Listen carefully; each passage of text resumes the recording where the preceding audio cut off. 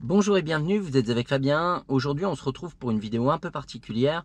On va se faire un parcours examen en conduite commentée et je vais essayer d'avoir la conduite la plus économique ou la plus écologique si vous préférez possible. Même si parler de conduite écologique, euh, écologie et voiture, ça fait pas bon ménage. Mais d'avoir la conduite la plus économe possible. Il y a quelqu'un qui me perturbe derrière. Pour le parcours examen en conduite commentée, en ayant la conduite la plus économique possible, c'est parti. Donc déjà, comme à mon habitude, bah, je vais régler les caméras. Check. Voilà. Donc moi je me suis bien installé, mais vous montez dans la voiture, déjà installez-vous tranquillement. Euh, le volant, le, la hauteur du siège, la profondeur, le dossier, l'appui-tête, on vérifie tout, les rétroviseurs intérieurs et extérieurs, et vous vous attachez. Et là l'inspecteur va vous donner les consignes. On va partir en circulation. Je vous, on va être amené à circuler en et hors agglomération. Je vous demande d'atteindre si possible les vitesses maximales autorisées de respecter les autres usagers, notamment les plus fragiles. Vous serez évalué également sur une manœuvre et un arrêt de précision, par exemple un stop. La manœuvre, elle vous sera demandée le moment venu. Il y aura une vérification intérieure ou extérieure une question en lien avec la sécurité routière. Je vous demande d'avoir de faire preuve d'autonomie. Il y aura une, une conduite en autonomie également et vous serez évalué sur euh, une conduite économique et respectueuse de l'environnement. Alors la conduite économique et respectueuse de l'environnement, c'est sur un point. Donc vous l'avez, tant mieux. Si vous l'avez pas, je vous dirais que c'est pas bien dramatique. Maintenant, vous apprendrez vite à avoir une conduite économique. Pourquoi? Bah, Parce que financièrement, c'est plus rentable. Donc Là, je démarre, donc va falloir que je sorte du rangement bataille. On va partir à gauche. Je mets en route le moteur. Je vais reculer doucement. Je fais attention à ce que personne n'arrive et je mets mon clignotant à droite parce que je vais reculer vers la droite. Je tourne tout tranquillement. Je recule tranquillement et je repars tranquillement. Donc là, il y a une voiture sur ma gauche qui est en train d'arriver, mais je la gêne pas. Donc je passe et j'y vais.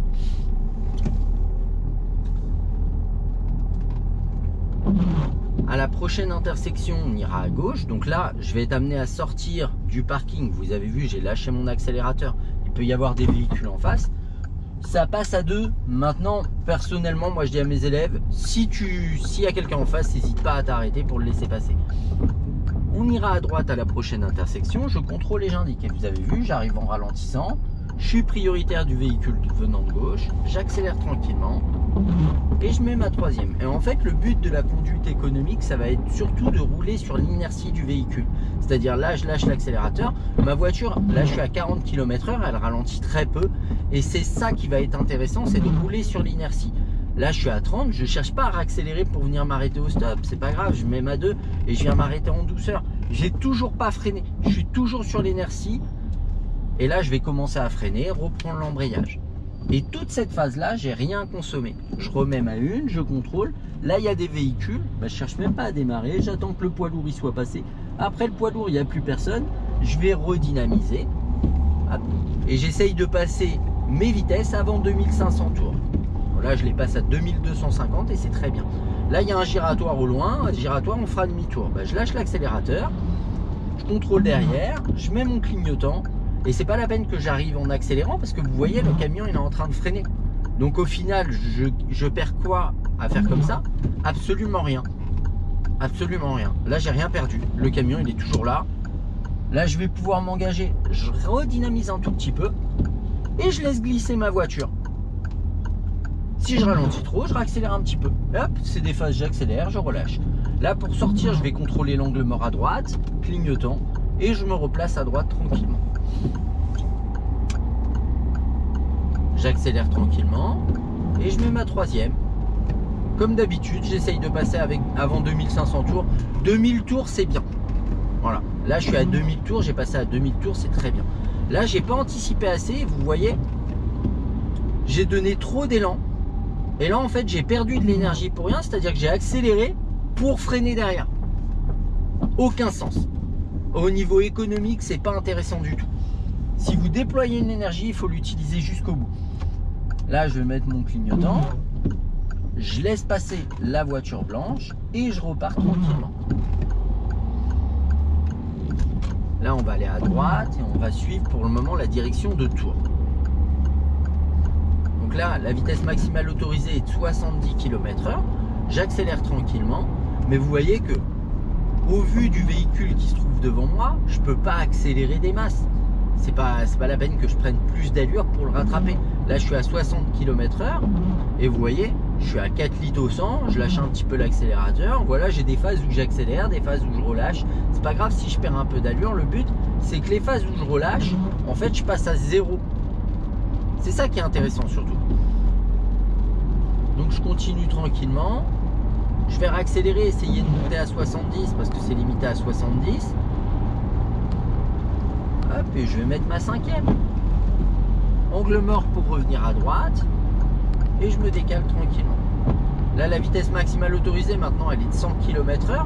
Maintenant, moi, je sais pertinemment que pas loin, il y a une limitation à 90. Est-ce que ça vaut le coup que je déploie de l'énergie pour refreiner derrière pour revenir à 90 donc là au loin, j'ai une bonne distance de sécurité vers l'avant, une bonne distance de sécurité vers l'arrière. Et là en fait au loin il y a un giratoire. Donc je vais lâcher l'accélérateur, laisser décélérer ma voiture sur l'inertie. Et là je ne consomme rien. C'est ça qui est intéressant. C'est que vous faites une grande partie de votre chemin sans rien consommer. Je vais penser à rétrograder mes vitesses et vous avez vu, j'ai toujours pas freiné et je suis à 60. Et je vais même jouer le jeu à mettre ma 3 pour avoir un max de frein moteur. Et vous voyez que j'ai toujours pas freiné. Là, je vais freiner un peu parce que je suis en train de me faire embarquer par la descente. Et je mets ma 2. Il n'y a personne, je peux m'engager. Je reste bien à droite pour aller tout droit. Clignotant droite. Angle mort gauche. Je vais relancer. Là, je suis à 2000 tours. Tac, je mets ma 3 j'accélère tranquillement. Vraiment, le but, c'est pas d'accélérer fort, de monter haut dans les tours, c'est d'accélérer vraiment tranquillement pour prendre votre allure. Et à cette, en faisant comme ça, vous, économisez du carburant. Le véhicule derrière moi, il est assez proche. Maintenant, je ne vais pas me rapprocher du véhicule de devant. Ce serait anxiogène pour moi. Donc, je vais lâcher un peu l'accélérateur et rester sur l'inertie de ma voiture.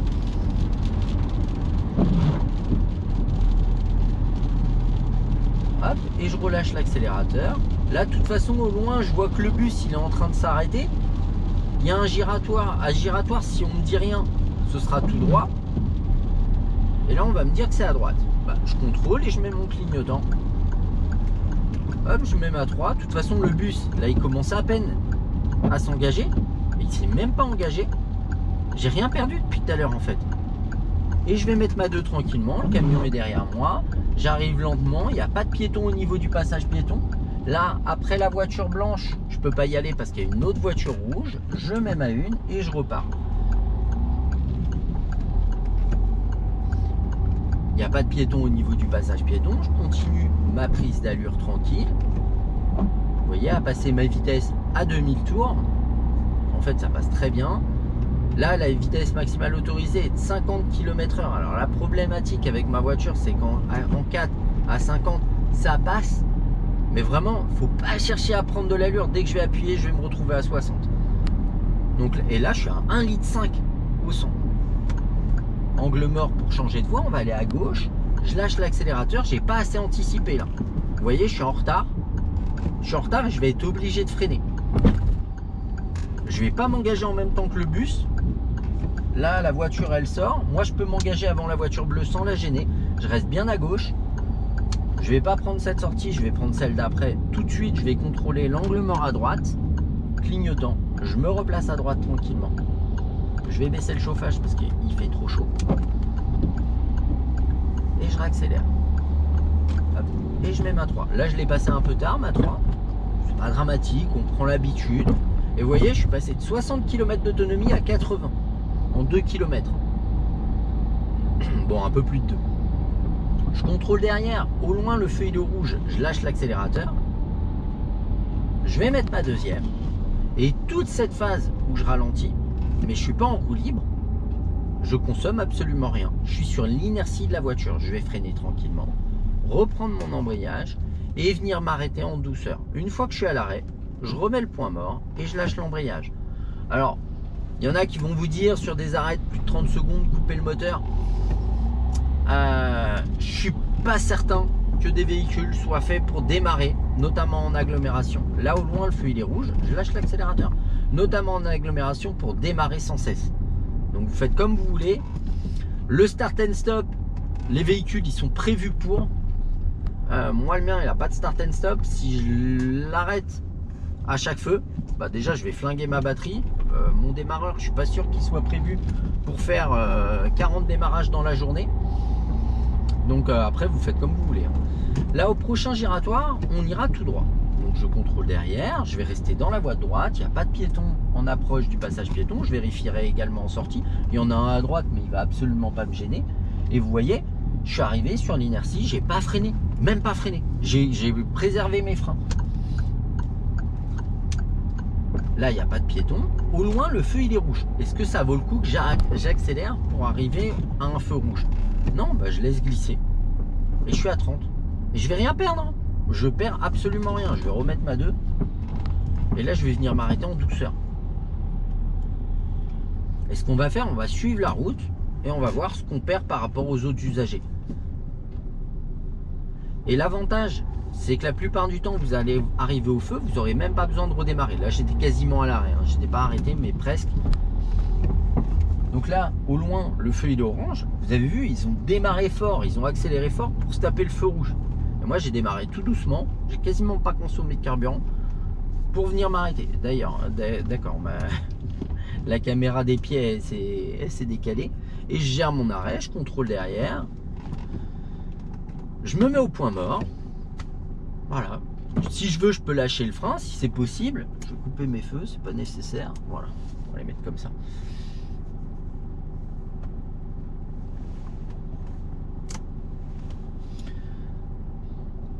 Et là, avant de redémarrer, je fais attention, je surveille à gauche et à droite qu'il n'y ait pas de deux qui me dépassent. Ça, c'est un feu qui est relativement long parce que c'est un feu qui est décalé. C'est-à-dire qu'un coup, ça va faire passer nous, un coup, ça va faire passer ceux d'en face, ceux de gauche et ceux de droite, ceux de gauche et ceux de droite qui tournent, et ensuite nous. Donc vous voyez que ça met un peu de temps avant de repasser au vert. Hop, je remets ma une, je redémarre tranquillement, et on va voir. Si je perds du temps, on va, on va avancer, et puis on va voir si je perds du temps par rapport aux autres usagers, à rouler tranquille.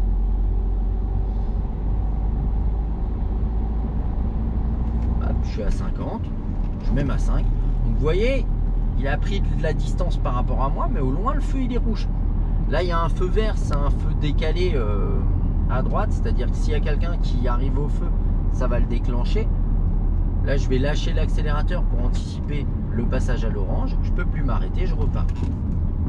Je mets ma 3 et je vais même mettre ma 2.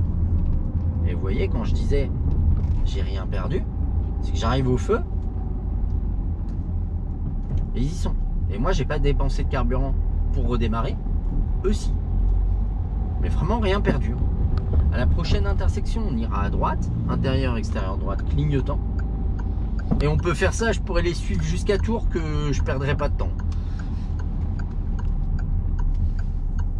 Et même au contraire, je pourrais en gagner.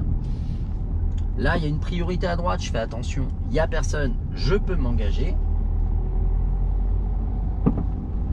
Et à la prochaine intersection, on ira à gauche. Donc je vais contrôler, mettre mon clignotant. Avant l'intersection, on s'aperçoit qu'il y a une priorité à droite. Le feu est rouge, donc j'arrive sans accélérer. C'est absurde d'accélérer pour venir s'arrêter. Je freine tranquillement et je gère mon arrêt en prenant l'embrayage. Là, j'ai pas le choix, je vais être obligé de m'arrêter. De toute façon, le temps que lui redémarre, vous voyez, tac, et je redémarre tranquillement. Et je mets ma 2. Clignotant, il n'y a personne en face à qui je devrais la priorité, pas de piéton en train de traverser, je tourne dans ma voie. Au prochain giratoire, si on ne me dit rien, c'est tout droit. Donc on va considérer qu'on ne me dit rien, donc je vais me placer à droite dans le giratoire. Je lâche l'accélérateur, j'arrive doucement. Là il y a un piéton, mais je ne vais pas le gêner à passer le passage piéton. Elle est encore à 5 ou 6 mètres. Je pourrais m'arrêter. Ça n'a pas de sens. Je dis pas si elle en approche vraiment, euh, dans ce cas-là je m'arrête. Là donc cas présent, euh, ça n'avait pas de sens pour moi.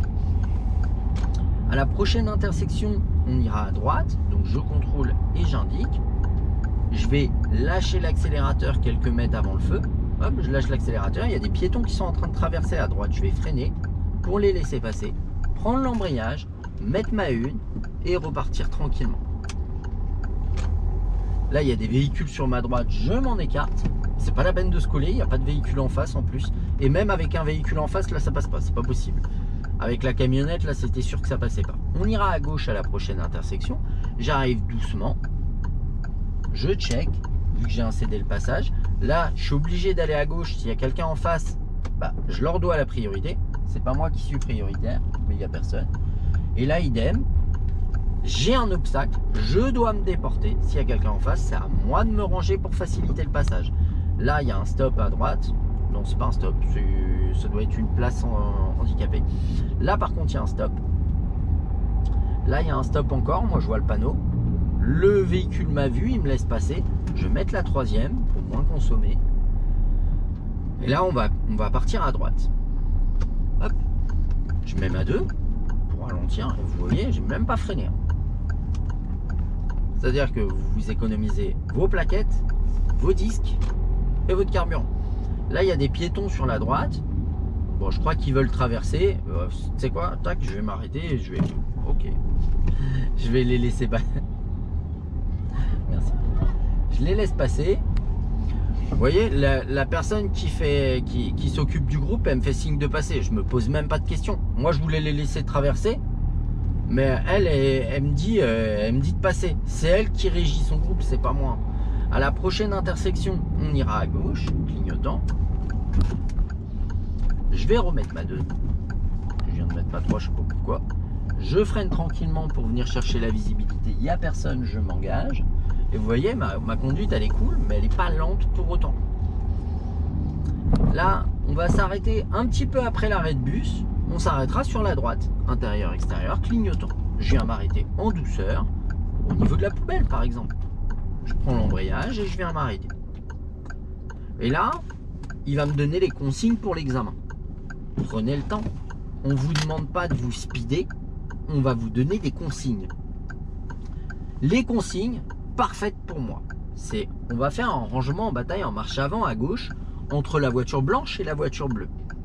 Durant cette manœuvre, je vous demande de gérer la sécurité, de prendre votre temps, prendre votre temps.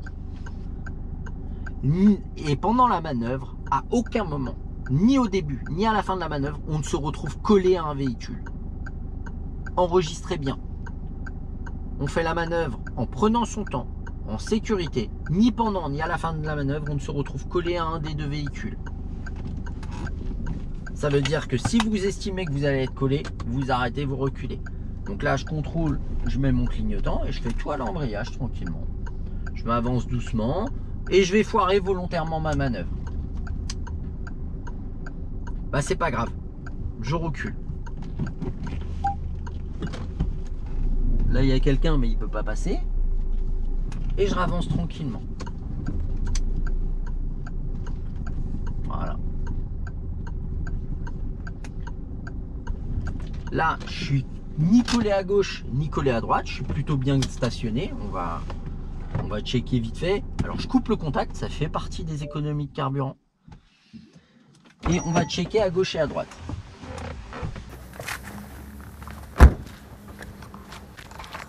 Voilà. Ah, je suis pile dans ma place.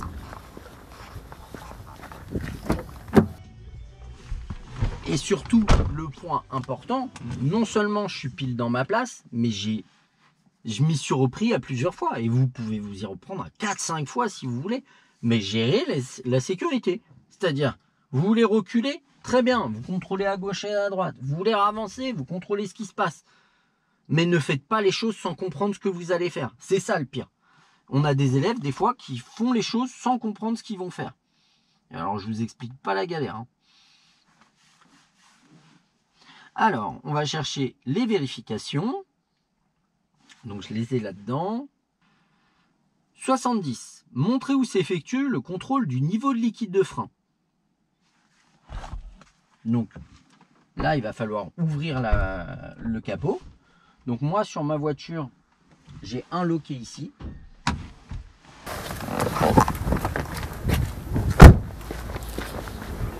J'en ai un autre ici au niveau du P.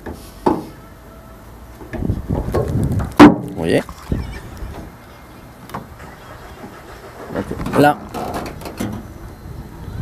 Alors à une main, c'est pas simple. Il y a des feuilles, dis donc. Donc le niveau de liquide de frein, il se trouve ici.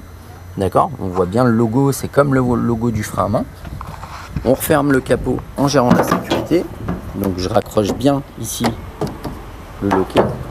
Je descends à une dizaine de centimètres, un petit peu plus. Et je le lâche.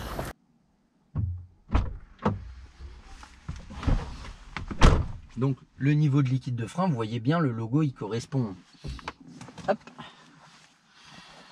Donc, question. Quelle est la conséquence d'un niveau insuffisant de liquide de frein? Bah, Ça risque de freiner moins bien, voire euh, plus du tout. Autant plus avoir de moteur, c'est chiant. Autant plus avoir de frein, ça peut être mortel.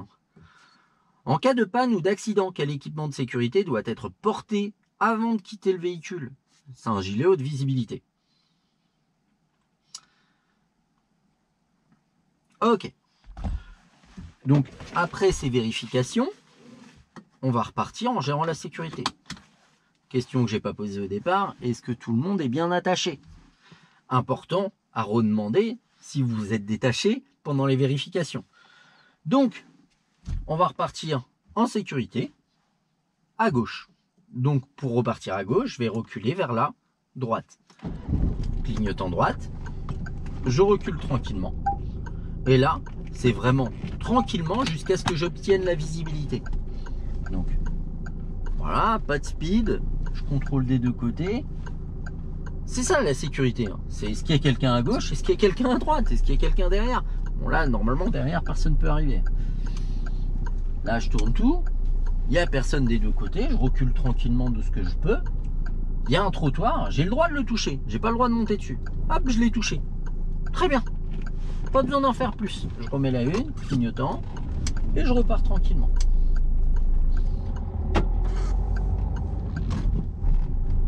À la prochaine intersection, on ira à droite, intérieur, extérieur droite, clignotant droite. Je lâche l'accélérateur et j'arrive doucement. Ouais, ça peut paraître lent, mais on s'en fout. Le but, c'est pas d'être speed, c'est d'être propre et bien. Je tourne tranquillement dans ma voie et je réaccélère tranquillement.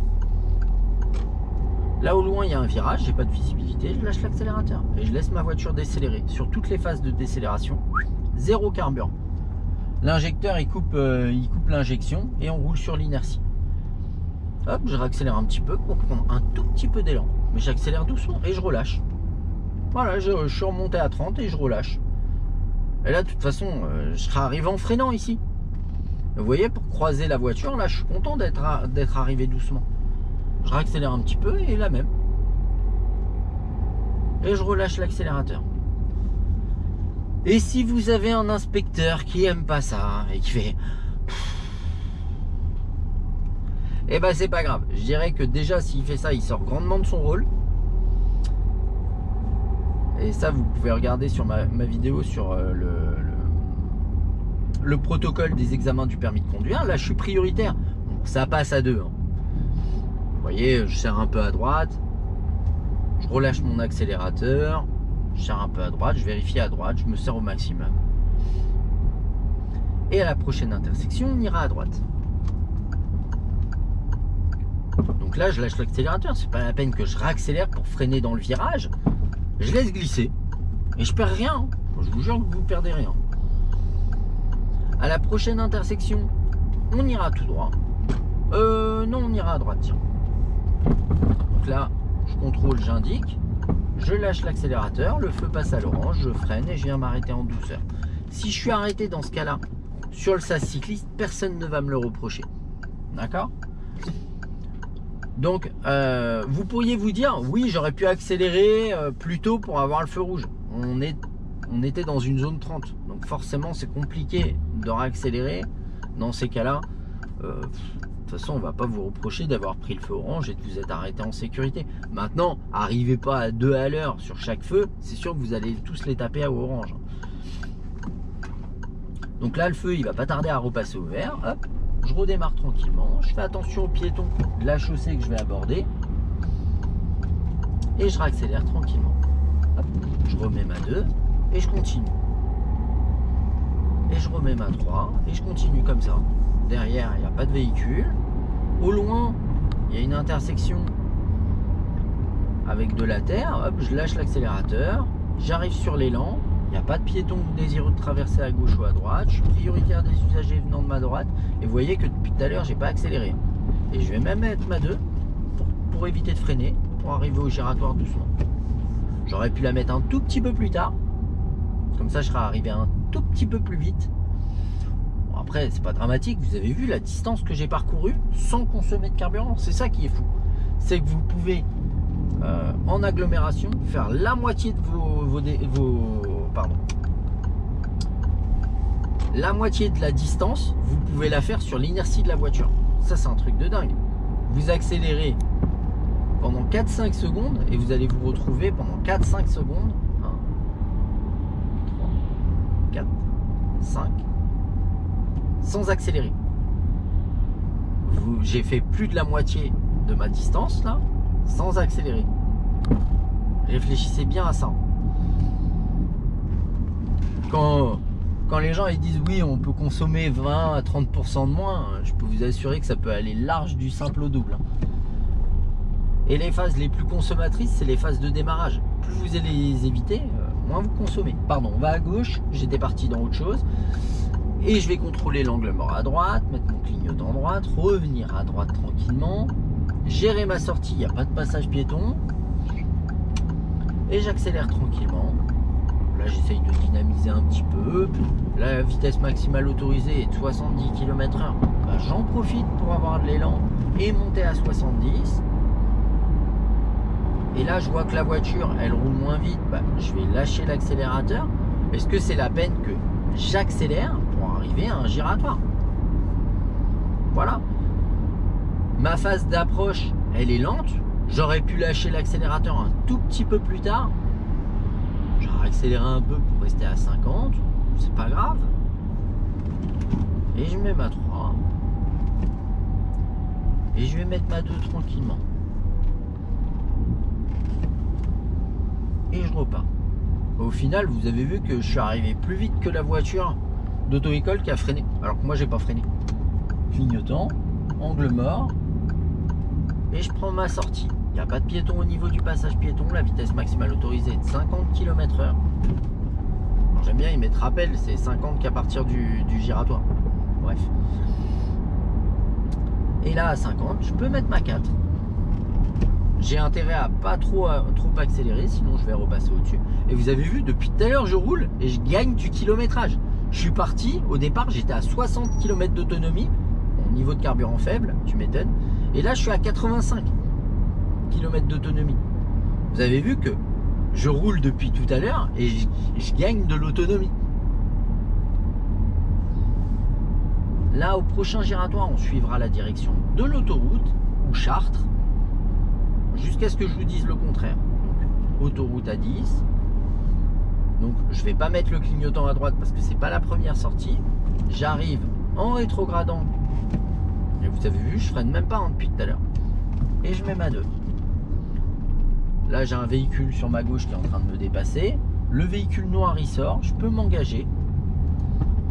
Et vos phases d'approche, elles sont, elles seront tellement douces que vous allez avoir de la facilité à prendre une décision de vous arrêter ou pas et vous ne le ferez pas dans, au dernier timing. Et là, je réaccélère tranquillement, je mets ma 3 et je continue. Alors, bien entendu, euh, avec une automatique, ça se fait aussi. Ces phases de, de prise d'inertie, etc., ça se fait. Vous voyez, je suis passé à 90 km d'autonomie. et je continue tranquillement. Je lâche l'accélérateur.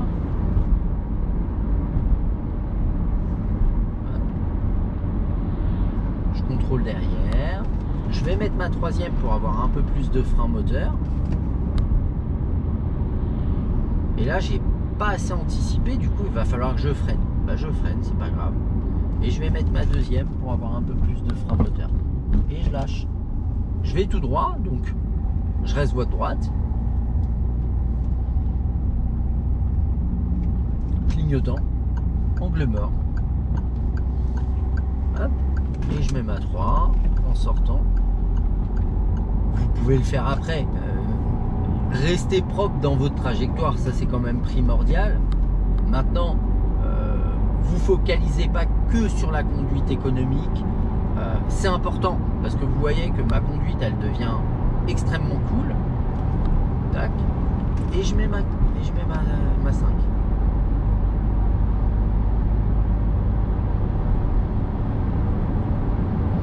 Et vous voyez que je prends la voie rapide et tout de suite, je suis passé de 90 à 80, de 80 à 70.